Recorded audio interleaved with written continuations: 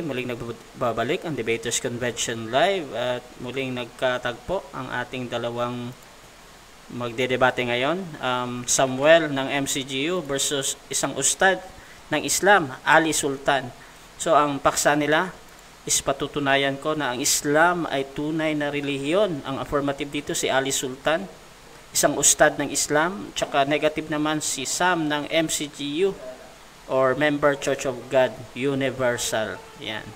So, bibigyan ko sila ng patig pa 5 minutes kasi uh, isa ito sa mga ambush na debate natin. 5 um, minutes timer. Siyempre, mauna si Bro Ali Sultan ng Islam. 5 uh, minutes para sa iyo, bro.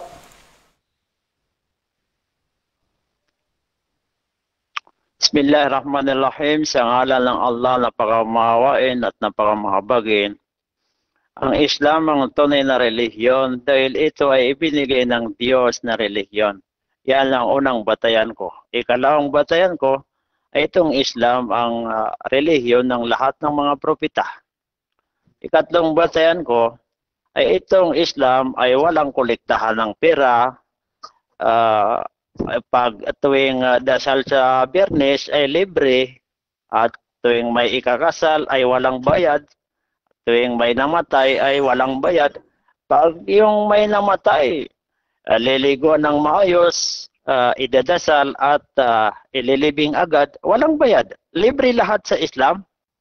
Uh, uh, yung nabanggit na zakah, na yun naman ay para lang sa mga mayayaman na sila ay magtulong doon sa uh, mga taong nangangailangan, mga pobre, yung mga ulila, mga uh, balo, yung mga nangangailangan tulad yung mga tao na naglalakbay na kinapos ng pera, yun ang uh, bibigyan ng siyaka para yun sa mga uh, yung may mga pera. Yung uh, tungkol naman sa tuwing uh, maggawa kami ng mosque ay nagpupulong, nagmi-meeting yung mga tao na may may mga kaya na silang magsusuporta sa isa, ay, itayo na moske. Hindi pa rin yung matatawag na kolekta ng pera. Ito sa Islam ay walang kolekta ng pera. Yan ang uh, ikatlong batayan ko. Itong Islam, ito ang relihiyon ng mga propeta. Unang-una, ito ang ibinigay ng Diyos na relihiyon tulad yung nasa Quran uh, 3.19 Inna dina indallahi islam uh, katotohanan ang relihiyon lamang kay Allah ay Islam. Yan ay binigay ng Allah. At nasundan din doon sa 385, uh, may yabtagi gair al-Islam dina fala yuqbala min huwa huwa fil akhirati min al-khasirin. Uh, itong uh, sino man ang maghanap ng ibang relihiyon na hindi Islam ay hindi tatanggapin sa kanya sa kabilang buhay, siya ay uh, makakasama doon sa mga talunan. Ang talunan sa kabilang buhay ay yung mga uh, taong ihukulong sa apoy sa impyerno. Maraming ayat sa Quran, tulad din yung uh, Surah 5.3 na ang pinili ng Allah na relihiyon ng lahat ng tao ay Islam. Yan, itong Islam.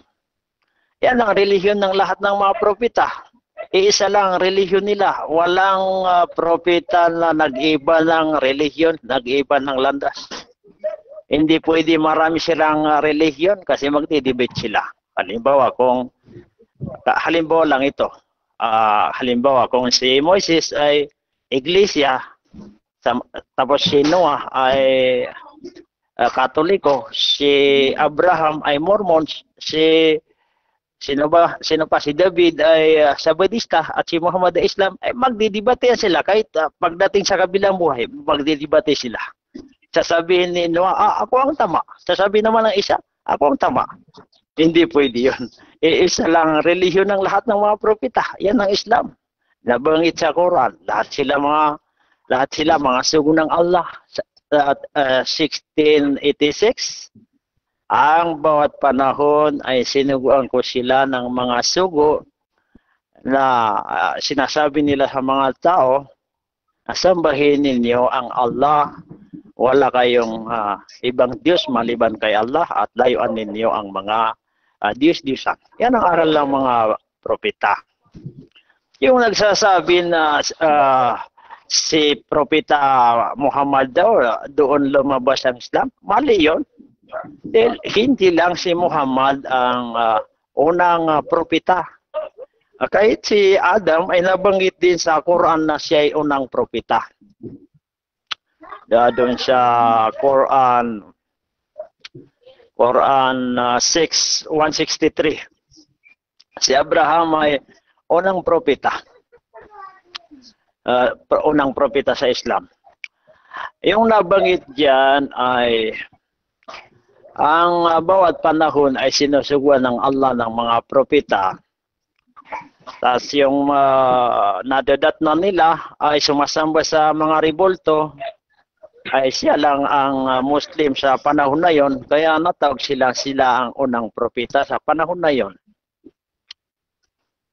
Ang bawat panahon, tuwing nabubuhay ang propeta ay mayroong Islam. Pag nawalan ng propeta, ay nag-iiba ng landas yung mga tao. Sumasamba sila sa mga revolto o mga disdyusan. Kaya sumusugo, nagsusugo muli ang Allah ng sugo na naman niya na ipinaabot niya, uh, ipinapahayag niya ang Islam.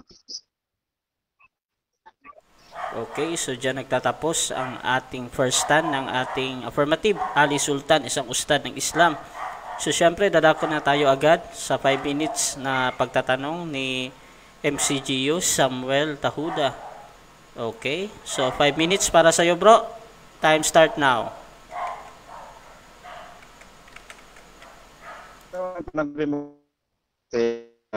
Ang Islam ay gaya ah, hindi ko marinig. mga propeta. Nabi mo kasi na ito. Hello. Uh, hindi malinaw. Hindi po ko marinig. Uh, uh, ba ko Moderator, hindi ko maintindihan. Mahina boses ko. Ay, ay, sa, sandali, gagamit ako ng headset. Ay, ibang cellphone sa gamit ko. Nakasan pa. Saan yung headset ko? Sandali, sandali lang. Papos mo na yung time. Yan, uh, shout out sa nakikinig sa live. Uh, kahit hindi tayo nag-share, eh, meron tayong 18 viewers. So, na, uh, salamat. Meron din tayong ito, shout out kay Jumong, Prince Jumong, kay Tox Nawalid, kay Den Do, Datumanong, yan. Okay na, Sam? Hello, malinaw na ba ba Malakas na ba? Mal- malakas na ba? Parehas pa din, Sam, pero Hello. ngayon, nagfi-feedback na tayo. Nagpi-feedback din naka-headset kasi ako. Punta naman to. Nagawa ng anak ko, kaya po ginamit. Kasi, na ako. Yan cellphone. Hello, hello, hello. Yan ba? Saan ba dito? Hindi, ay, malakas na nga yung boses ko dito. Narinig na lang kapitbahay. okay, narinig sige, ko sige. din. Okay. Okay, an o lang tanong ko, mer meron ka bang mabasa na si Abraham bigyan ng um, message ay bigyan. Hello, dinig ba ako?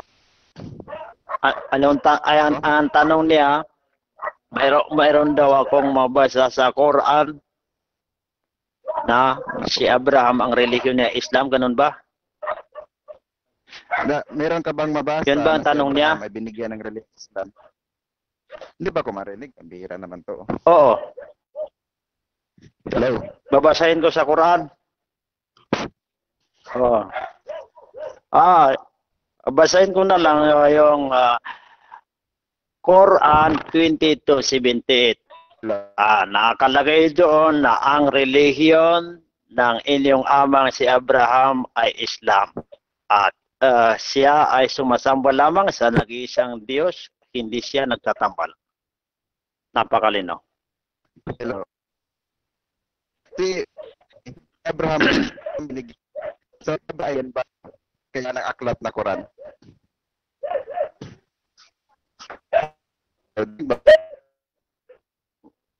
Wala akong may, maintindihan. si Abraham ba ay binigyan ng aklat na Quran?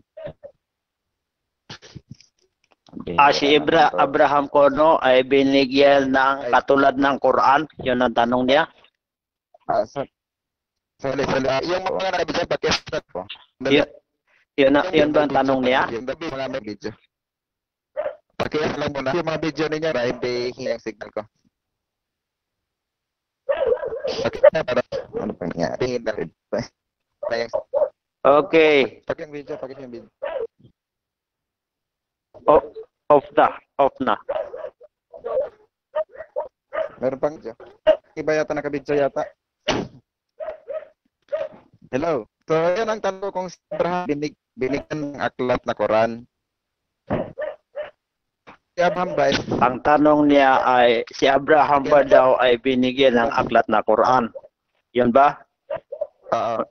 Oo. Ah, ah, ang sagot ko, hindi ipinahayag kay Abraham itong Quran dahil ito ay huling revelasyon na ipinahayag lang kay Muhammad. Ngunit mayroong ipinahayag kay Propeta Abraham ay yon ang suhop. Suhop ang tawag doon kay Abraham. Nabanggit niya sa Quran na pinahayagan siya ng suhop. Yan ang sagot ko. Kung, kung, okay, ang Quran ay holy revelation, inaamin mo ba na hindi Quran ang mga binigay na unang plus, ano ba na ang sa mga naon propeta? Yes or no lang? Ano daw inamin? Ano yun? Di ba?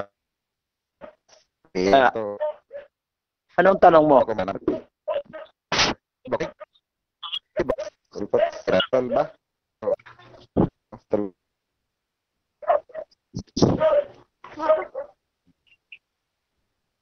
Hindi, nag pa naman gamit ko. Tapos, tigas. Problema natin dito eh. Gmail. Wala may nabaliklain. Wala mang ibang naka-connect sa wifi namin eh. Hindi basta nag-YouTube. Wala YouTube. Welcome. Hello, hello. Abo pa rin ba? Hello, wala. Biraan lito, no? no, di. Yun lang. Ah, subukan ko mag-join ulit, ah.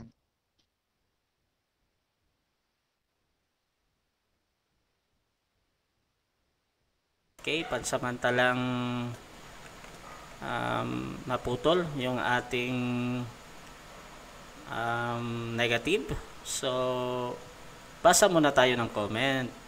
Okay, sabi ni din Tito Manong, suhof ang ibinigay kay Abraham yan. Um, sabi niya, bakit mahina ang MCGO? Sabi ni Arwin Sergarino, ano ba talaga yan, MCGO or MCGI? Si Edwin Nationales ba ang lalaban o si Samuel Tahuda? Yan. Ah, since hindi available si Edwin ngayon, um, si Samuel muna Tahuda at MCGO yan, tunay yan. Y- yung kanyang MCGO is Member Church of God Universal.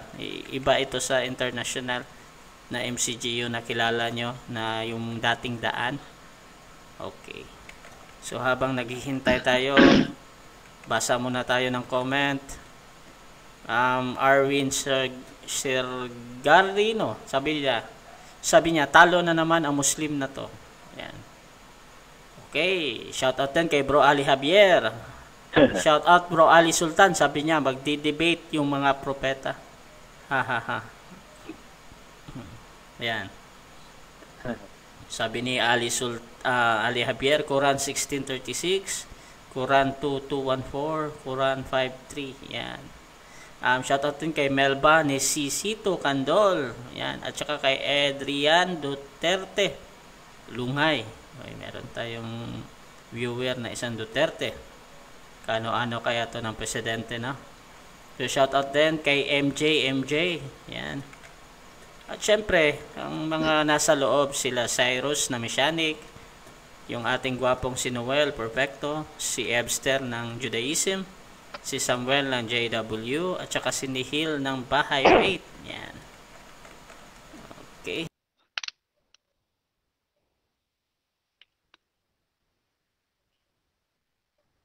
Ang ating suking-suki sa Debaters Convention, si Fernando Camacho ng SDA, yung pinakagwapo na debater ng DevCon, no?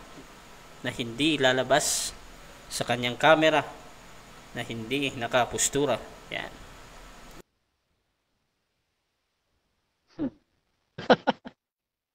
Yari. Eh, dalawa naman nakikita namin gwapo ron ah. Nandun ka rin eh. Yun no? Ah, yun no?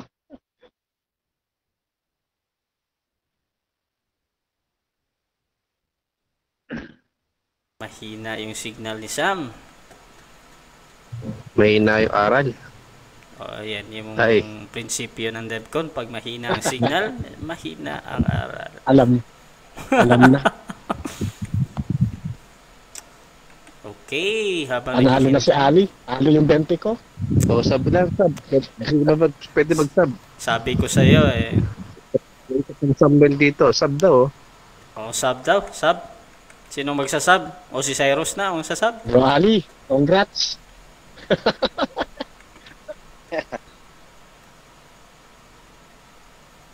Teka ha. Wala talaga, hindi nakakonect. Nakataya pa naman ako ng 20 kay Samuel. Sabi ko sa inyo, eh, 5 ako kay Ali. eh. Oo, alam mo na, 40 ako dyan. Di ba? 40. Nanalo na 40. 20 kay, ano, kay Gumong, tapos 20 kay, ano. balato na lang, balato. Laglag yung bata namin. Hello, eh. Kita ko na Joy sa akin. Bibigay ko yung number ko mamaya.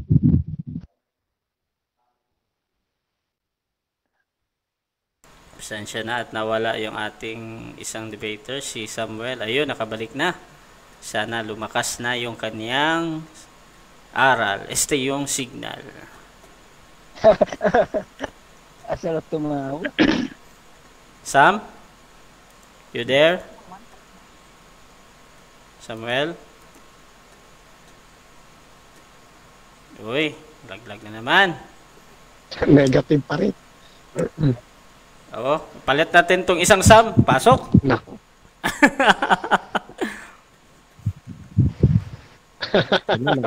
Samuel ng GW. Oh, Samuel ng JW, palitan natin tong Ah, LGGU. Pwede, pwede. Pwede, pwede kasi kakaumpisa pa lang eh, hindi pa nakalatag ng ah, ah, presentasyon niya. Pwede na lang palitan yan. So Samuel, tanong ka na. Wala, wala si Samuel. Samuel ano na lang daw, JW daw. Samuel ng JW.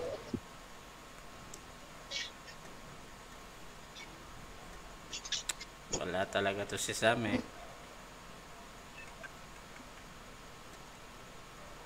Bro Rasha, magkapa-schedule kami ni Bro Ali. So, Al- Ali, Sinong Ali? Ustad. Yung Ali o yung Ale?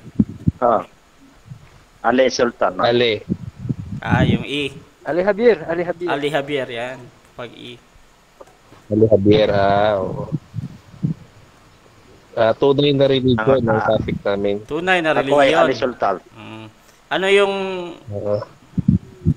ano yung ipropo ah, ipapa ano mo kung Islam versus Judaism. Judaism. Hmm, Yun. okay. Ganda yan. Maganda yan, bago, bago. Oo, bago. At least bago. Bago ah. Hindi naman ano sa Christian, no? Wala pa din si Sam? Wala bang Tagil- substitute dyan? Tagilid ang ano, Judaism dyan, tagilid. Wala bang substitute dyan? Uh, nalalaman natin yan pagka nag-present na tayo. Si Pastor Ang Dindo na lang, ko, si Brother Pastor Rasha, Dindo. i- ulitin Substitute? nyo na lang. ulitin nyo na lang. Pastor Dindo. Ano, Kasi wala pa naman tayo dyan. dito ni Stan. Para malinis yung, Bigay na ano, natin yung kay Sam yan. record. Ano siya, bro? Um, hindi makapasok, bro. Brother Rasha, Hmm. Hello. Si- Hello. isit mo rin sa amin eh. Ali Sultan yan, yung paksa na yan. Yan na, si Sam. Hello. Oh, dinig ka, Okay, Sam. nagmamalakas na ba yung signal ko dyan? Oh, malakas na. Okay, tanong ka na. Putol-putol pa rin. Tinig na? Okay na, okay na. Okay, salamat naman. Nakabayad na. Sige, Sam. Okay. So, tanong ko lang, ah, okay. Okay. Kung yung mga Sige. sabi mo ang Quran ay huling rebela ay huling revelasyon, ano naman ang mga ibinigay doon sa mga naunang propeta? Yo, ang naunang propeta eh, kay eh, Prophet Abraham ay suhop. Ang ibinigay sa kay Moses ay Torah. Ibinigay kay David ay yung salbo. Uh, Zebur. Ibinigay kay Propeta Jesus ay Angel. Sa Tagalog, Ebanghelyo. Okay. Okay. So, ayon sa inyong Quran, ano ang tawag doon sa mga taong naniniwala sa Injil? Ang mga taong uh, naniniwala sa Injil ay yung uh, tawag sa kanila ay Aklul Kitab. Ngunit yung taong sumunod, isinagawa nila yung nilalaman ng Injil ay Aklul Kitab ng mga Muslim. Okay. Ibig mo bang sabihin na yung mga sumusunod kay Jesus tinatawag na Muslim sa Quran? Yes or no lang po? Oo, tulad yung Hawariyon, Okay. yung mga, Okay. ang tinawag na Hawariyon, ay yun yung mga disipulos ni Jesus na sila ay sumunod sa aral ni Jesus. Mga Muslim yun. Saang verse? Okay, saang verse sa Quran sinabi na ang mga disipulo ni Jesus ay tinawag na Muslim? Ah, dito sa verse ah, 61, chapter 61. Hanapin ko ha. Kasi hindi ko yan ah, hindi ko yan memorize. Ayun na yun ang sura na yun. Mga Muslim yung mga Hawariyon na sila ay Verse, verse. sumunod kay? Jesus. Chapter verse. Pag, paki, pakibigay ang chapter at saka verse. yes, 61 verse 61. Ah, yun daw, 61 verse 6. Basahin natin. 61 verse 6. Iwa. Kasi na, na doon ang kwento sa mga hawaryo no, yung nabanggit na nahno ansarullah. Okay. Dito sa 60 Okay, dito sa 61.6 na binanggit mo, nasabi mo tinatawag silang Muslim. May nakasulat ba ditong Muslim o wala? Basahin mo, basahin ko muna. Ah, itong ah, Surah 61 verse 14. Basahin ko ha. O kayong mga nananampalataya maging mga katuwang tagatangkilik ni Allah na katulad ng sinabi ni Jesus ang anak ni Maria sa kaniyang mga disipulo, sino ang aking makakatulong sa mga gawain. Okay. Okay. That, okay, sa verse 6 at saka sa verse 14 na binanggit mo, ay walang nakasulat 60 na Muslim. Ngayon ang tanong. Ngayon ang tanong, Ang sino sa inyo ang dapat namin paniwalaan? 61, 14. Anong tanong? Okay. Dito sa verse 14 na ginamit mo, walang nakasulat na Muslim. Ngayon tanong ko, sino sa inyo ang dapat naming paniwalaan? Ikaw na nagsasabing may Muslim dito or yung Quran na, nags- na walang Muslim na nakasulat? Itong nasa verse 16, nabanggit dito na sila ay naniniwala kay Allah. Ang naniniwala kay Allah ay mga Muslim din. Ang tanong ko, Basahin natin kasi ulit. Kasi hindi na sabi mo hindi ko natapos. Ito, magtatanong ako. Ah, Magtatanong ako ha, sa verse 14. Okay. Okay, mamaya na lang yan sa rebut, sa rebut, sa anak presentation. Okay, next question. Sinabi mo, no, na si, si Jesus ay Muslim. Tama ba? Oh. Yes. Okay, kung si Jesus ay Muslim, pang ilan siya na Muslim? Sa mga propeta ay siya ang ika-24. Ang last uh, propeta ay si Muhammad kasi yan lang na-mention sa Quran na 25 prophets. Pero Okay, ah, marami ng mga Muslim. So dyan nagtatapos ang ating first na pagtatanong. So dadako na tayo sa ating 5 minutes na negative presentation. Bro Sam, pasok.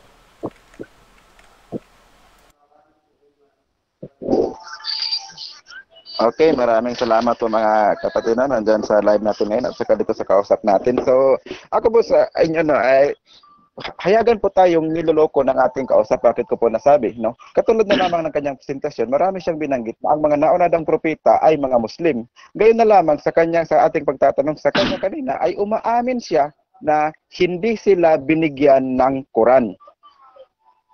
Di ba po mga kapatid, alamin po natin, ano ba yung batayan no, ng mga nagsasabing sila ay Quran, Injil ba? Torah ba? Ano ba ang sabi, di ba? So kapag Muslim ka, ang aklat na batayan mo or uh, kinoconsider mo no, na salita ng Diyos ay ang Quran, hindi ang Injil, hindi ang Torah. Kasi ayon mismo sa kanilang Quran din, yung mga naniniwala sa Injil ay tinatawag na Kristiyano. Yun namang naniniwala sa Torah ay tinatawag na Hudeo. Kaya dito pala mga kapatid, kitang-kita na natin ang pagsisinungaling ng ating kausap. Katulad na lamang ng ginamit niyang sila sa 61.6 at saka verse 14 ng Quran nila. Nang sabi niya, ang tawag daw sa mga sumasampalataya ay Muslim. Gayon naman pala kung ating basahin ang sitas na kanyang ibinigay ay walang binanggit na Muslim. Ang sabi lang doon, sumusunod sa Allah. Pero walang binanggit na word na Muslim. So maliwanag po dyan na dyan pa lang nagsasalungatan or niloloko tayo ng ating kausap.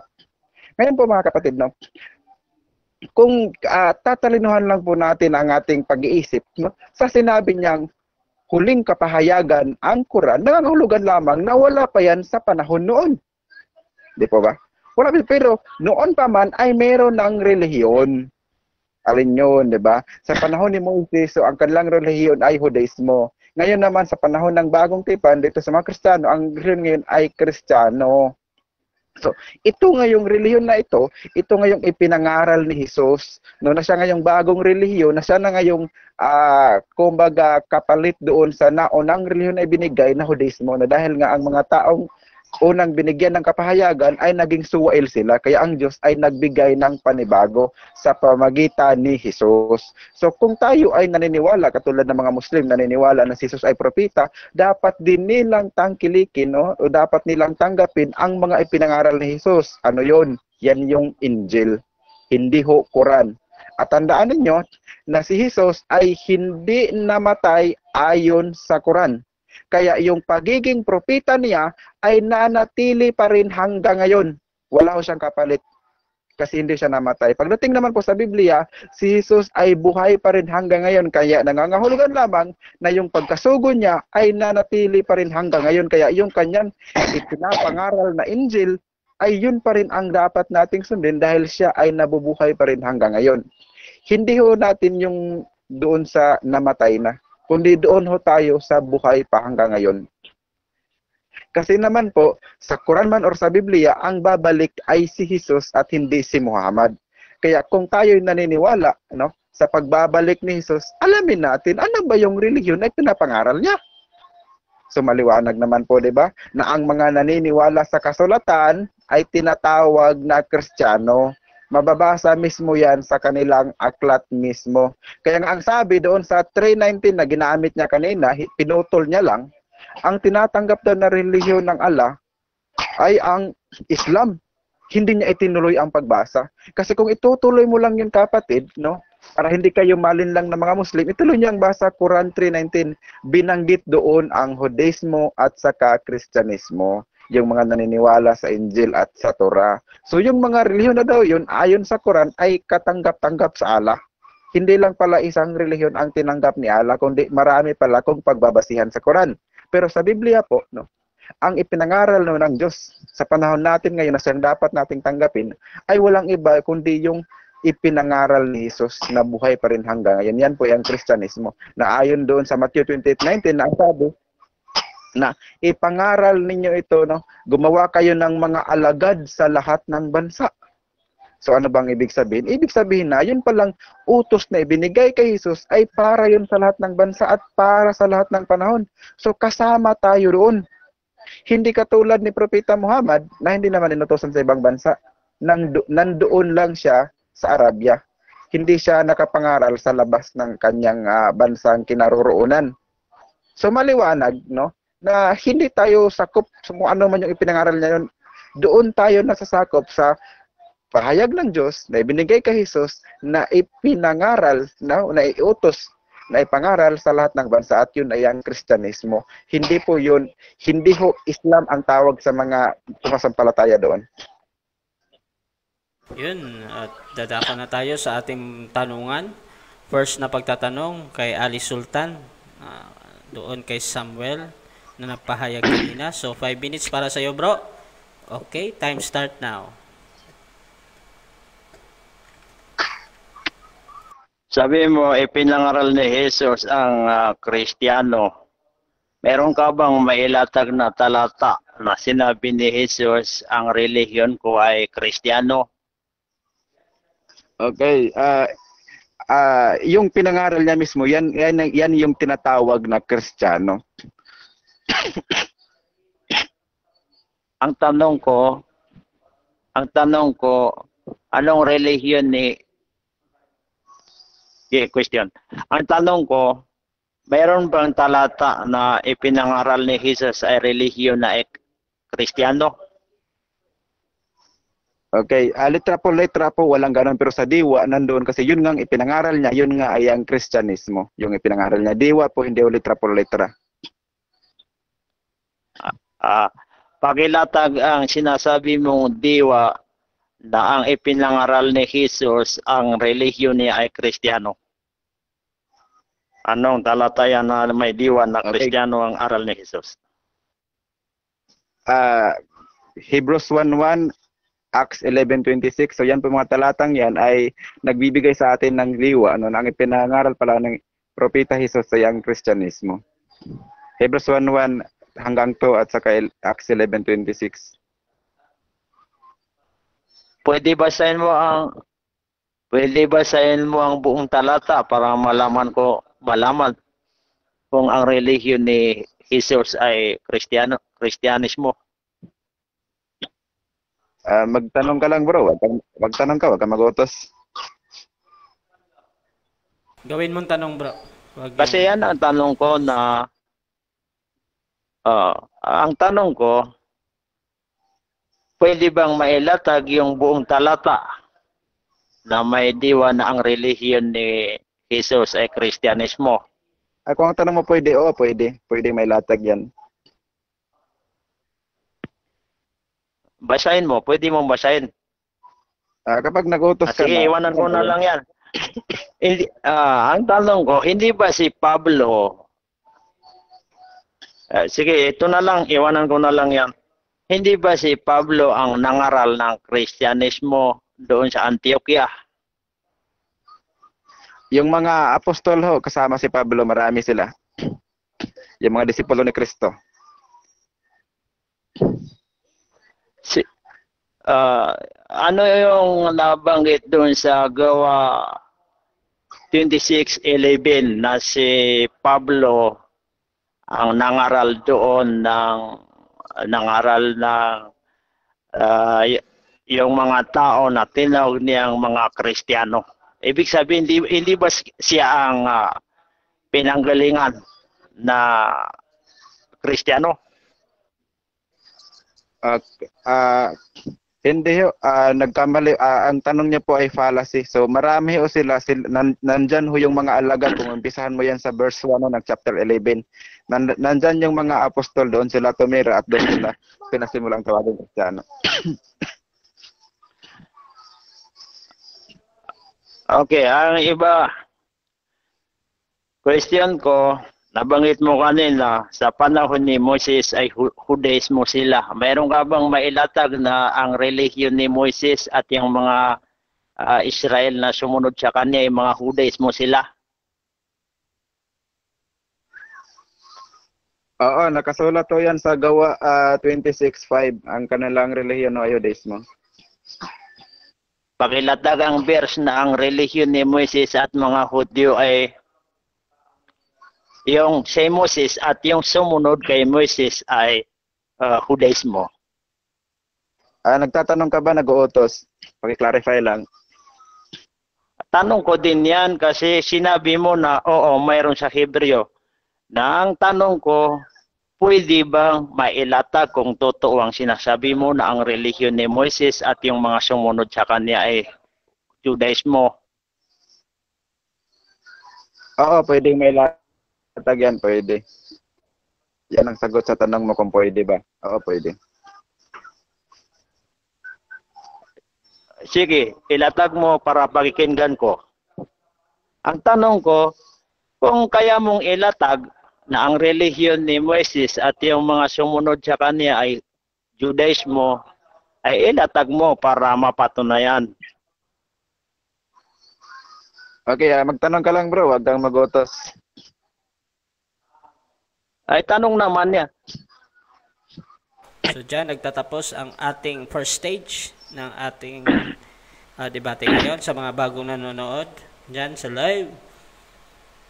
Topic natin ngayon, patutunayan ko na ang Islam ay tunay na relihiyon. Siyempre, ang ating affirmative si Ali Sultan na isang Islam, negative naman si Sam ng MCGU. Okay, so papasok na tayo sa ating rebuttal. 5 minutes para sa iyo. Bro, Ali Sultan ng Islam. Proceed. Sa ngalan ng Allah, napakamahawain at napakamahabagin. Yung sinasabi ng aking katunggali na uh, umamin daw ako na yung mga unang mga propeta ay hindi binigyan ng aklat na Quran, kaya hindi daw sila mga Muslim. Mayroon din, ito ang pangbasa ko sa kanya, mayroon ding ipinahayag sa kanila ng mga aklat. Si Noah, mayroon din ipinahayag sa kanya ng mga aklat na mga uh, sampung aklat yung ipinahayag sa kanila, kanya. Iyon ang nabasa ko dun sa mga history. Uh, ngunit hindi pinangalanan. Ang narinig ko na may pangalan yung ipinahayag kay um, uh, Abraham na suhop, yun ay galing din kay Allah. Kasi nabanggit dito sa Quran na galing kay Allah. At yung ipinahayag kay Moises na Torah ay galing din kay Allah. Ngunit hindi Quran kasi ang Quran ay huling revelasyon. At si uh, David ay pinahayagan ng Zabur Ngunit hindi yung Quran kasi iba rin yung aklat nila. At uh, si Moises, uh, uh, si Jesus ay Ebanghelyo. Ngunit hindi Quran. Eh, uh, eh, hindi naman uh, kung uh, hindi Quran ay hindi na sila Muslim. Muslim sila kasi nabanggit dito sa Quran na si Moises ang uh, nagpahayag sa kanya ay ang Allah. Ganon din yung mga uh, uh, mga ibang propeta. Mababasa yon sa Quran 3171. Yung mga nagkasunod-sunod na mga propeta. Sige, yung uh, sinabi pa niya na ang uh, gumamit ng Injil ay mga Kristiyano. Uh, ibig niyang sabihin ay hindi yung sumunod kay Jesus ay hindi na sila mga Muslim dahil sila kuno ay mga Kristiyano. Ang pangbasa ko diyan, yung uh, Biblia ay hindi yan ang Injil. Yung Injil na sumunod sa aral ng Injil ay mga mga Muslim na yon. Kasi sila ang tinawag na Hawariyon. E, ibig sabihin ng Hawariyon, mga disipulos ni Jesus. Ito yung nabanggit sa Quran Sige, hindi ko na lang basahin. Basta mayroon dito yung kanina. Ah, ito yon. O kayong mga nanampalataya maging katuwang tagatangkilik ni Allah na katulad ng sinabi ni Jesus, ang anak ni Maria sa kaniyang sinabi, uh, sa kaniyang mga disipulo. Uh, ito, sa mga kaniyang mga disipulo. Eh di, ibig sabihin, yung mga sumunod kay Jesus ay hindi na mga Kristiyano kasi nabangit dito sa Quran. Sino ang aking makakatulong sa mga gawain sa uh, kapakanan ni Allah? At ang mga disipulo ay sumagot kami ang makakatulong ni Allah. Ibig sabihin ay tutulungan nila ang relihiyon ng Allah. At ang isang bahagi ng angka ng Israel ay sumasampalataya. At ang isang bahagi ng nagsitalikod, nagtakwil, subalit binigyan namin ng kapangyarihan ang mga sumasampalataya laban sa kanilang mga kaaway at sila ay mga nagtatagumpay. Ibig sabihin yan, mayroon ding mga uh, bani Israel na sumampalataya. Ibig sabihin, mayroong mga Muslim sa panahon ni uh, Moises. Kaya basag na yung sinasabi mo na mga Kristiyano lang ang gumam, uh, gumamit ng Injil. Mara, mayroon ding mga Muslim yung sumunod kay Jesus. Kasi ang aral ni Jesus ay Islam tulad yung nabanggit doon sa Quran na 30, 1936, sinabi ni Jesus, O Israel, ang Diyos ko, ang Allah ay Diyos ko at Diyos ninyo. Uh, sambahin niyo ang Allah, yan ang tamang landas. Na, nasa Quran yan, yan ang aral ni Jesus. Yung sinabi mo rin na uh, ang gumamit lang ng Torah ay mga Hude, uh, Hudyo, mga Hudaismo. Uh, mali ka diyan dahil yung Torah ay mayroong mga sumunod kay Moises tulad yung kapatid niya uh, si Aaron. Nabanggit dito sa Quran na si Aaron at si uh, Moises ay sila ay mga propeta ng Allah. Mga sugo sila ng Allah. Kaya napakalinaw. Yung mga Bani Israel na sumama kay Moises na tumawid doon, yun ay mga Muslim yun, naisa, naisalasay dito sa Quran. Yung uh, 12 na uh, pamilya, sila ay mga Muslim, naniniwala sila sa Allah. Hindi yun na uh, mga Hudaismo na sumasamba sa mga Diyos-Diyusan. Yung mga uh, Hudaismo na nag-iba ng landas, yun yung sumamba sa baka. Ang uh, pinuno nila ay si Samiri. Yung sinasabi mo sa panahon ni Moises, mga Hudaismo, walang Muslim, nagkakamali ka diyan kasi nabanggit dito sa Quran na maraming mga Muslim. Ayan, so dyan nagtatapos ah, sige, ang 5 minutes na rebuttal ng ating affirmative Ali Sultan ng Islam. So dadako na tayo sa 5 minutes na pagtatanong sa ating sa rebuttal stage. So uh, Brother Sam, 5 minutes para sa iyo. Time start now. Okay, una kong tanong, saan sinabi ni Jesus sa Quran na ang kanyang relihiyon ay Islam? Uh, dito sa tingnan natin itong uh, uh, yung uh, Quran 1936. 'Yon. Kasi nabanggit okay, doon so na Quran 'yon. Quran 'yon. Nabanggit okay, doon na Quran 1936. 1936. Basahin natin. Ang nakasulat dito... Uh, ito next question ko. Yes. Okay, next question ko. Dito sa 1936, meron bang sinabi si Jesus na ang relihiyon ko ay Islam? Meron ba o wala? Wala. Uh, walang nabanggit diyan na sinabi ni Jesus na ang relihiyon ko ay Islam. Pero yung pag-amin ni Jesus na ang Allah ay Diyos ko at Diyos ninyo, ay Muslim na siya doon dahil lahat ng naniniwala kay Allah ay ang relihiyon niya ay Islam. Ganon din lahat okay, ng naniniwala question. kay Allah ay Muslim siya at Islam ang relihiyon niya. Okay, next question. Nung tinanong kita kanina, sabi mo, uh, relihiyon ang ang relihiyon ni Jesus ay Islam ayon sa 1936. Ngayon naman, oh. nung tinanong kita kung meron bang binanggit ito sa 1936 na sinabi ni Jesus na ang relihiyon ko Islam, sabi mo naman wala. Ngayon, uh, gusto ko lang linawin, alin ba talaga yung uh, tinitindigan mo dito? Meron bang sinabi sa 1936 na ang relihiyon ni ay Islam o wala? Lahat ko yun titindigan na ang relihiyon ni Jesus ay Islam at ang Diyos niya ay Allah kasi kapag ang Diyos mo ay Allah ay siguradong Islam ang relihiyon niya. Walang tao na uh, dumidiyos sa Allah ay tapos ang uh, relihiyon niya ay Kristiyano o Buddhism o Judaism. Hindi uh, lahat ng okay. mga Muslim na naniniwala kay Allah, lahat sa buong mundo ay Islam ang relihiyon nila. Okay, Rasha may 20 seconds ba tayo sasagot? Okay, so ah, ito ang ito ang tanong ko. Okay. Saan mababasa no yung sinabi mo na kapag ang Diyos mo ay Allah, Muslim ang tawag sa iyo at Islam ang relihiyon mo. Saan mababasa 'yan? Ang maraming ayat sa Quran na pag ah, naniniwala kay Allah ay matatawag na Muslim. Kasi hindi hindi ko kayo nilililang. Lahat ng um, ah, Muslim dito sa buong mundo ay Islam ang relihiyon nila. At lahat ng ah, tao dito sa buong mundo na naniniwala kay Allah ay Islam ang reli- relihiyon niya.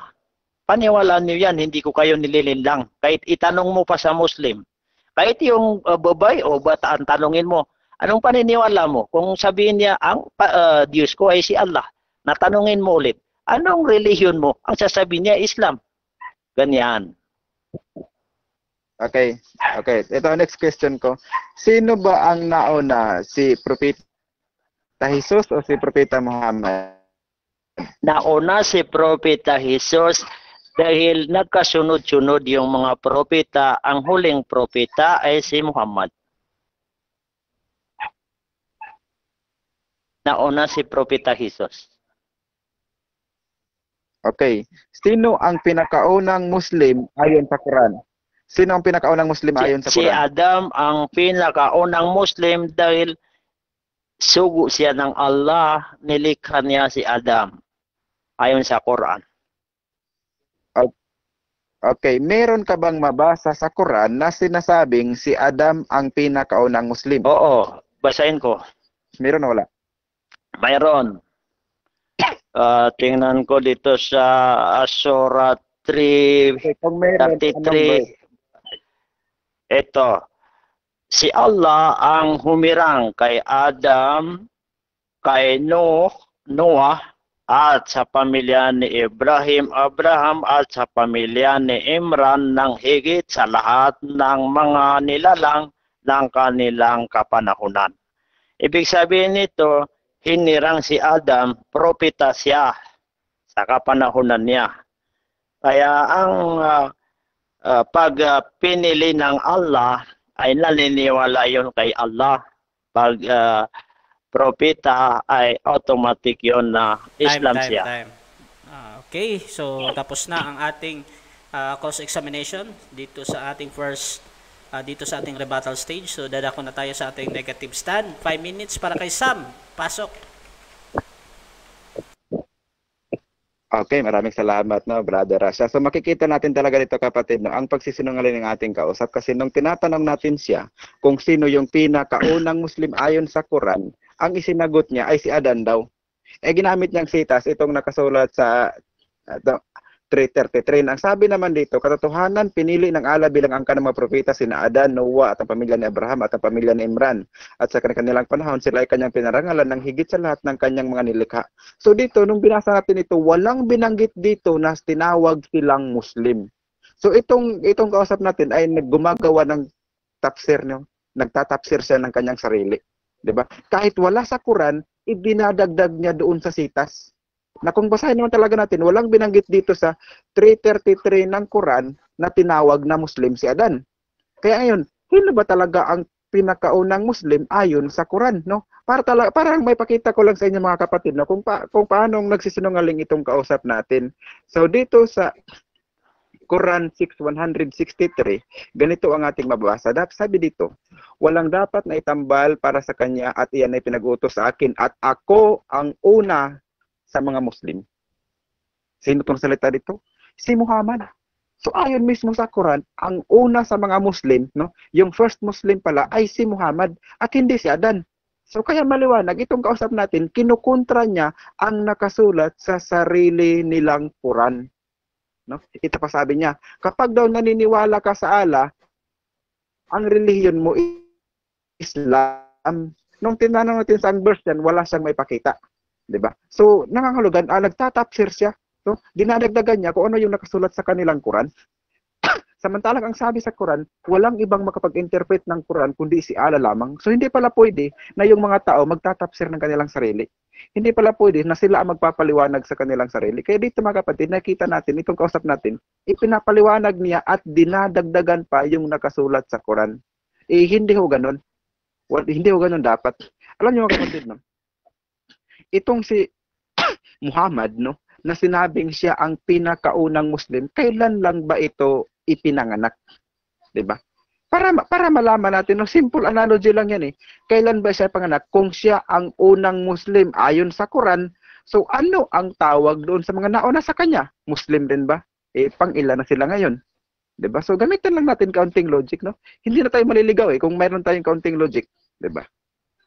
Tandaan nyo ang sitas, Quran 663, ang pinakaunang Muslim ay si Muhammad. Kaya, yung mga nauna sa kanya, hindi yun mga Muslim. No? Hindi yun mga Muslim. Ang tawag sa kanila, yung mga disipulo ni Kristo, hindi Muslim ang tawag sa kanila. Buong Quran, wala kang mababasa na sinabi ni Kristo, ang relihiyon ko ay Islam. Walang ganon. Niloloko lang kayo ng mga Muslim na nagsabing ganon. Kundi, buong Quran, wala kayong mabasa, sinabi ni ni Jesus na ang relihiyon niya ay Muslim at ang ipinangaral niya ay ang Quran. Dahil ang ipinangaral ni Jesus ay ang Injil. So yan yung ibinigay ng Diyos sa kanya na dapat niyang uh, ipamahagi rin sa mga tao ang Injil. Hindi ho ang Quran. Ngayon, para sa kanila, ang Injil daw ay hindi daw itong nasa Biblia. Itanungin natin, nasaan na yung salita ng Diyos ngayon? 'Di ba? Kung hindi yan yung nasa Biblia, nasaan yung Injil? Nawala na. Ganon na ba katanga ang Diyos ninyo na upang uh, mawala yung kanyang mga salita? Eh sa Biblia ho, hindi ho ganon. Ito pakinggan ninyo ang sinasabi no, sa Biblia. Sa Psalms, no? na yung sulat ni David na pinaniniwalaan din nila yung sabor, no? Psalms chapter 12 verse 6 and 7, ganito ang ating mabasa. So tingnan natin no, kung talaga bang hahayaan ng Diyos na maiwala yung kanyang salita. Sabi dito, ang mga salita ng Panginoon ay mga dalisay na salita na gaya ng pilak na sinubok sa horno sa lupa na makapitong dinalisay. Iyong iingatan sila, O Panginoon. Iyong pakaingatan sila mula sa lahing ito magpakailanman. So maliwanag po yan na yun palang salita ng Diyos. Kanya yung iingatan, hindi niya maiwawala sa kanyang bayan. Ngayon, kung ang salit, kung ang sabor, no, ang Torah, ang Injil ay wala sa kamusliman, nangangahulugan lamang yun na hindi sila ang bayan ng Diyos. Ibig sabihin, huwad yung relihiyon nila. Kasi ang tunay na relihiyon, nandoon yung salita ng Diyos, doon ng Diyos iniingatan, no? Para yung kanyang salita ay manatili hanggang sa panahong darating, no? Hanggang sa panahon natin. Pakinggan ninyo sa isang sitas, no? Dito pa rin sa Sabur pa rin sa Psalms 102 verse 18. Ganito, ganito naman ang ating mababasa. Ito kung sila ay naniniwala kay Propeta David, dapat tanggapin nila ang nakasulat dito. Nasabi dito, ito'y isulat na upol sa lahing susunod at ang bayang lalangin ay pupuri sa Panginoon. O di ba yun pala mga kapahayagan no, ng Diyos noon ay talagang isusulat para sa para sa atin no yung mga lahing darating para yan mga salitang iyan ay mananatili hanggang sa panahon natin. Ngayon, nasaan yung salita ng Diyos na Torah? No, yung sabor, yung Injil. Siyempre lang sa Kristiyano, kaya ang Kristiyano yung tunay, hindi sa Muslim. Okay, so dadako na tayo sa ating cross-examination sa rebuttal stand. So, 5 minutes ulit para kay Ustad Ali Sultan. Okay. Okay, go bro.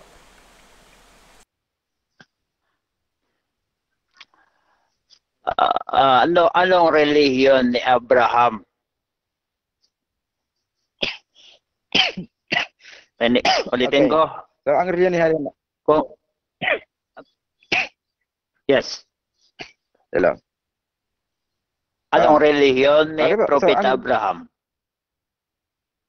Okay, ah, sa Biblia hindi binanggit kung ano ano yung specific name no ng kanilang relihiyon. Ang maliwanag siya ay sumusunod no sa Diyos na nasa Biblia at hindi nang nasa Quran.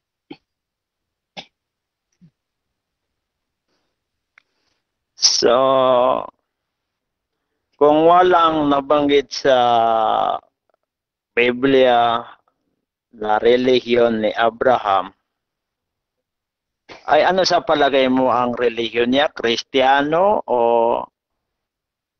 Judaism? Or Islam? Okay.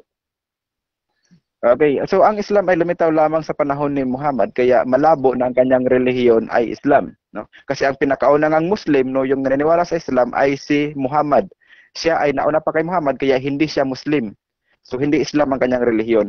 Kung ano yung kanyang relihiyon na hindi sinabi sa Biblia kaya hindi ko na ano pa. Hindi ko na rin sasabihin pa kung ano yun. Hindi ko pangunahan. Ah, Doon lang ako sa nasusulat. Ang sabi mo, si Muhammad lang ang unang Muslim. Oo, nakasulat yan. Eh, hindi mo pala, Quran. hindi, hindi mo ba nabasa na dito sa Quran ay nabanggit din na si Prophet ah, Abraham ay unang Muslim din? Hindi mo nabasa? Okay, wala wala akong nabasa na binanggit na si Propeta Abraham ay unang Muslim.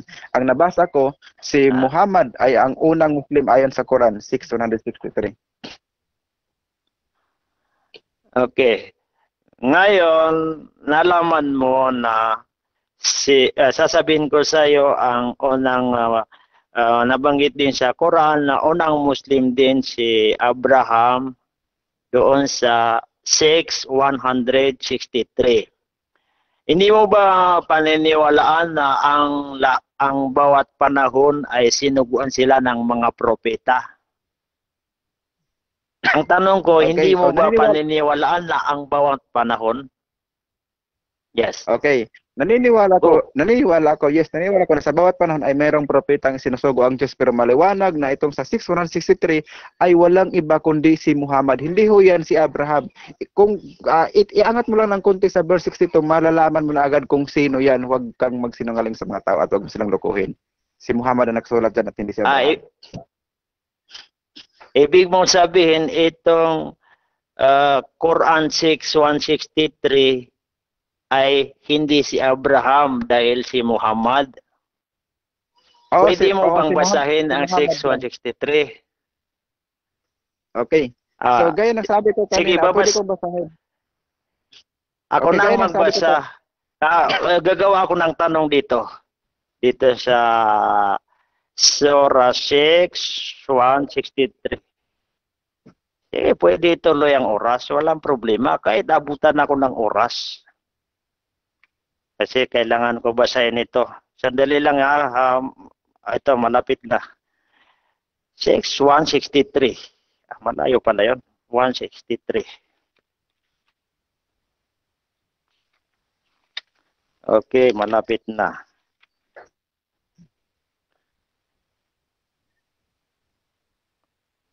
Six, one sixty-three. Ay, isimula ko sa 161.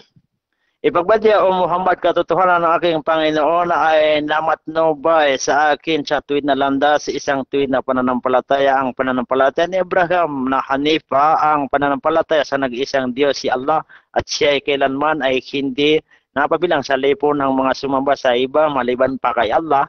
Ipagbadya o Muhammad katotohanan ng aking eh, sala tagdang pagdarasal, ang aking ah, pagkatay ng hayop bilang sakripisyo, ang aking ah, pamumuhay, ang aking ah, pagkatay ay para kay Allah lamang ang Panginoon, ah, Panginoon ng lahat ng mga nilalang. Siya ay walang katambal na iba pang Diyos sa pagsamba sa Kanya at sa bagay na ito, ako ay pinag-utusan na ako ang unang Muslim. Eh, eh, hindi mo ba paniwala na ang nabanggit dito ay ipagbadya mo Muhammad. Ibig sabihin na sabihin mo Muhammad na ang kwento dito ay si Abraham. Kasi si Abraham yung tinawag dito na ang pananampalataya ni Abraham ay Hanipa. Okay, uh, five minutes. Okay, so dadako na tayo sa 5 minute na conclusion. Mauna si Bro ah, um, Bro Sam. Pasok Bro Sam. Okay, so maraming salamat na kapatid na Rasha at ating kausap. So ngayon naman ang muli muli naman na- muli na namang naihayag no ang kasin ang kasinungalingan ng ating kausap na sinasabi niya, sinabi ni daw dito sa Quran 163 na ang unang Muslim ay si Abraham, no? So sino kaya sa kanila ang dapat nating paniwalaan ngayon? Ito basahin natin yung sitas, no? Simulan natin sa 161 na kanyang sinabi. Sabihin, katotohanan ng aking Panginoon ay nagpatnubay sa akin sa isang matuwid na landas, ang tamang reliyon, batay sa pamamaraan ni Abraham, ang Hanef. Yung kay Abraham, Hanef. No? Sumasamba lamang sa nag-iisang ala at siya ay hindi kabilang sa mga nagtatambal. Okay. Sabihin, katotohanan ang aking pagdarasal, ang aking ritual ng pag-aalay, ang aking buhay at ang aking kamatayan ay para sa ala ang Panginoon ng ala ng lahat ng mga nilikha. 163. Walang dapat na itambal para sa kanya at iyan ay pinag-utos sa akin. Kanino kay Muhammad. At ako ang una sa hanay ng mga Muslim. So, yun pala ang utos kay Muhammad. No, nasabihin pala niya na siya ang pinakauna sa mga Muslim. Si Muhammad pala ang una sa mga Muslim. So, ma, no, karamihan sa mga Muslim ay naniniwala no na ang binabanggit dito na una sa mga Muslim ay si Muhammad. So si Ali lang yata ang naiiba sa kanila. So nasa sa inyo na yan no kung paano niya o nawaig yung kanyang mga sinabi. So maliwanag naman dito no na yun daw ang kaparaanan na ibinigay kay Abraham ay tinatawag na Hanif, hindi pala Islam. Naloko na. Iba pala yung binigay sa kanila, no? At sa katunayan mga kapatid, no, na dito sa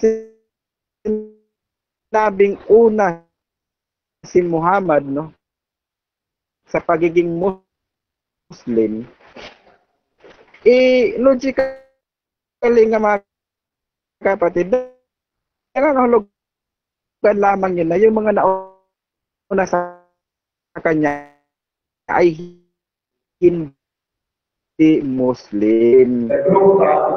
Kaya nga, mo na yung istorya hindi? iba ang ibigay sa kanila. Eh, halimbawa ngayon, no? Yung mga Kristiyano, sumasampalataya sila doon sa Injil na ipinahayag sila. Diba? Ano ba yung Muslim? Yung Muslim, yan yung yan yung naniniwala sa Quran na yung Quran na iyan ay luma ano lumab ay propeta na ng Diyos. So dapat din nating tanggapin yung kanyang salita at dapat nating paniwalaan na yung Injil na ibinigay sa kanya, yung sabot na ibinigay kay David, yung Torah na ibinigay kay Moses, dapat nating paniwalaan na yun ay iningatan ng Diyos hanggang sa panahon natin. Hindi ho yun maiwawala kung naniniwala ka na sila ay mga sugo ng Diyos yung pati yung kanilang mga salita no na ibinigay ng Diyos no sa kanila ay nanatili pa rin sa panahon natin ngayon yon iniingat ay binigay kay Moises na ibinigay kay David na ibinigay kay Jesus. Bakit wala sa kanila yon kung sila ang tunay no? Bakit ito lamang Quran ang meron sa kanila? Sinasabi nilang last testament daw no? Na wala namang sinabing yan ang kapalit doon sa mga naunang testament di ba? Kung meron sanang sinabi dyan itong kapalit last testament eh baka nga sana eh, ngaso naman hindi naman sinabing pinalitan yung mga naunang salita. So kung hindi pina- pinalitan yung mga naunang salita, nangangahulugan lamang na yun ay existido pa rin hanggang sa panahon natin ngayon. At yung mga kasalatang iyon ay matatagpuan hindi sa Islam.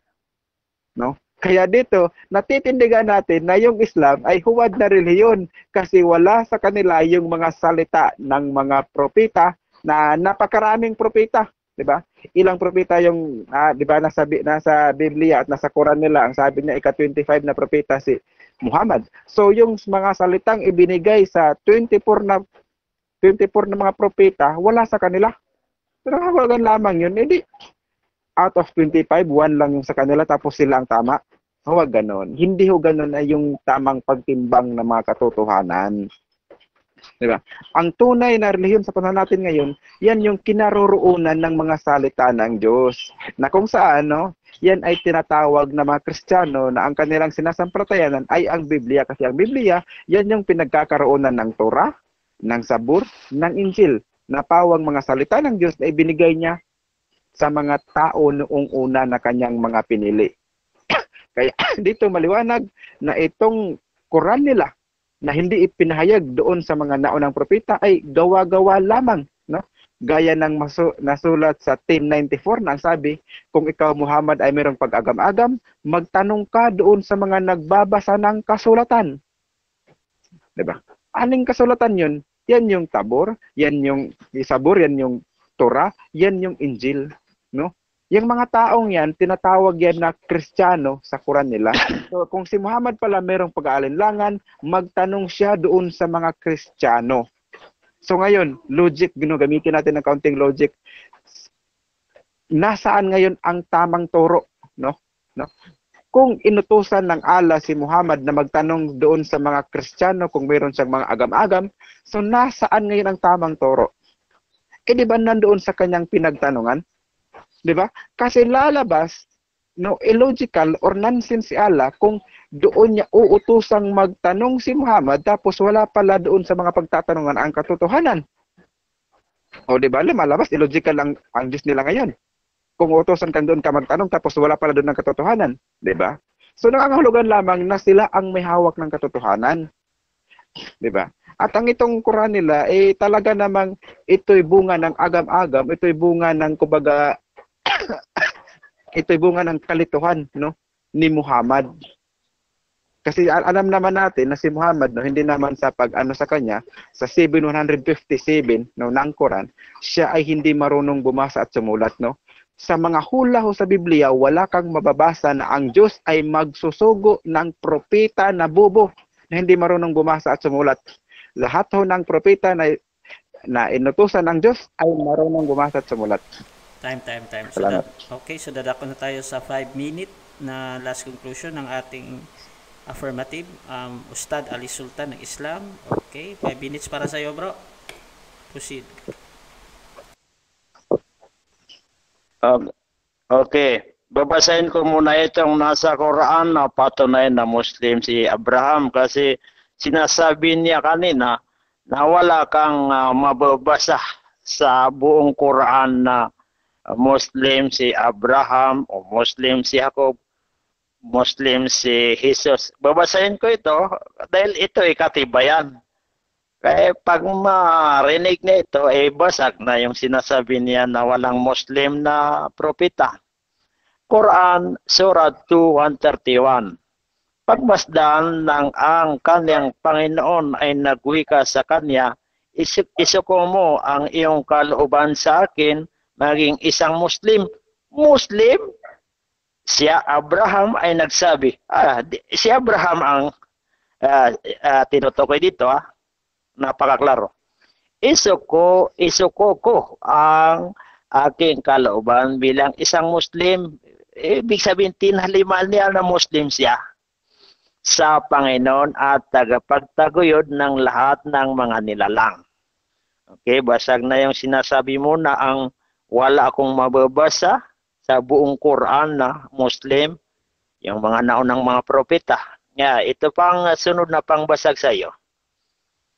Uh, uh, kadugtong ng ayat na yon 132 at ang pagtalima at pagsunod na ito kay Allah ang Islam. Islam na bangit napakaklaro Islam uh, ay ipina, itinag, ipinagtagubilin ni Abraham sa kanyang uh, mga anak na lalaki. Sinong anak ni Abraham? Alam natin yon si Ismail at si Isaac.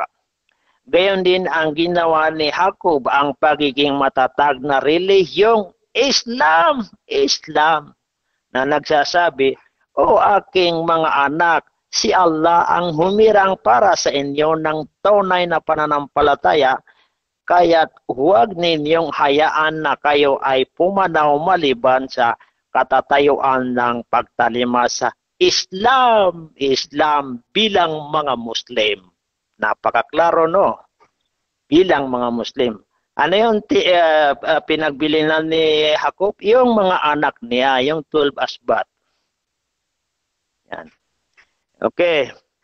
Dumako ako, uh, dumako ako doon sa sinasabi mo na yung uh, 319 ay hindi ko itinuloy.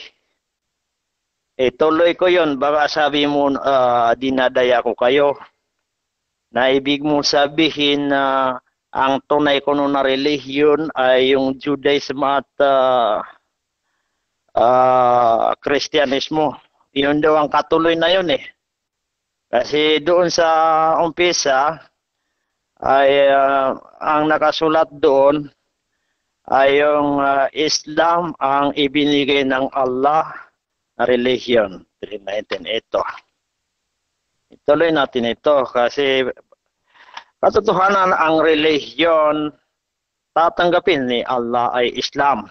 Ang mga pinagkalooban ng kasulatan, mga Hudyo at Kristiyano ay hindi nagkakahidwa maliban lamang ng pagkaraang dumatil, dumatal sa kanila ang kaalaman sa pamamagitan ng pan, uh, pananaghili at pagkapuot sa isa't isa. At sino man ang hindi mananampalataya sa ayat mga aral, katibayan, kapahayagan, tanda at iba pa ni Allah, kung gayon katiyakang si Allah ay magap sa pagtawag sa pagsusulit. Ang naintindihan dito ay sino man ang hindi tumanggap sa mga ayat ng Allah, ibig sabihin itong kapahayagan niya na Quran, ay ang Allah ang uh, maagap sa pagtawag sa pagsusulit. Yan.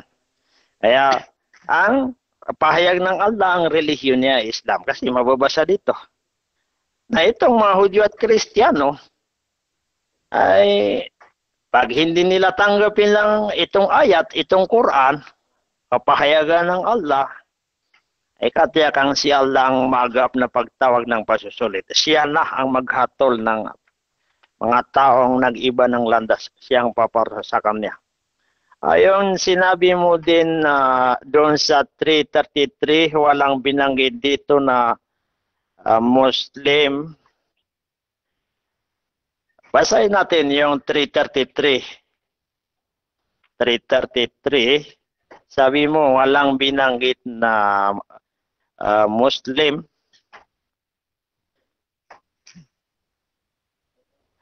Si Allah ang humirang kay Adam, kay Noah at sa pamilya ni Abraham at sa pamilya ni Imran ng higit sa lahat ng mga nilalang ng kanilang kapanahunan. Kahit hindi nabanggit dito na si Adam ay Muslim, Okay. Okay, okay itindihin nyo na lang yon. Okay, dyan natatapos ang ating debate ngayon between um, Islam versus MCGU. Um, um, Islam si Ali Sultan uh, versus si Samuel ng MCGU. So bibigyan ko sila ng 30 seconds na pasasalamat. Unahin na natin si Samuel.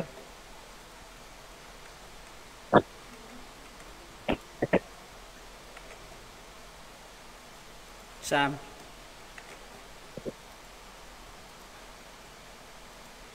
Okay, si Ali Sultan. Okay, uh, sa lahat po Ayan. ng mga nanonood.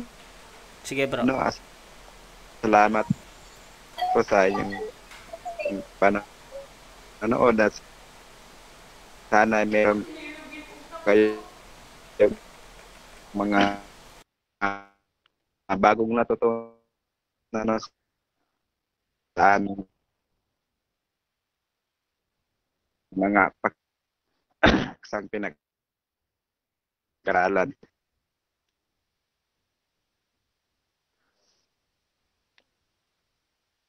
Hello. Okay, at sa akin na Uh, magandang gabi sa inyo. Assalamualaikum sa lahat ng mga kapatid kong Muslim. Sumayin niyo ang kapaya, kapayapaan. Pati din kayong mga uh, Egan, mga kapatid, mga kababayan, lahat tayo sumati ng kapayapaan uh, sa nagabayan tayo ng Allah.